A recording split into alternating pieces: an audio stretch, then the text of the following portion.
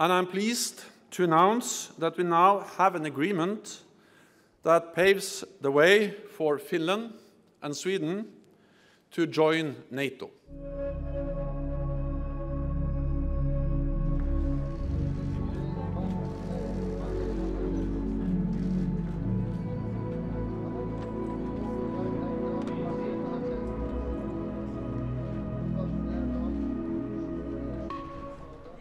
And I'm pleased to announce that we now have an agreement that paves the way for Finland and Sweden to join NATO.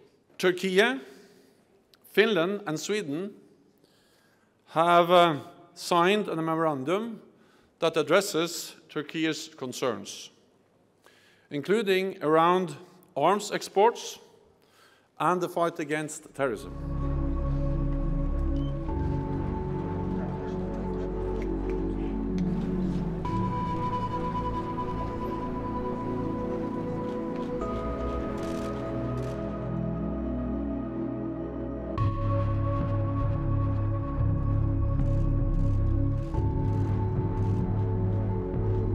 Um, Finland and Sweden, uh, of course, are ready to work with uh, Turkey on the pending deportations uh, or extradition requests uh, uh, of terror uh, suspected individuals.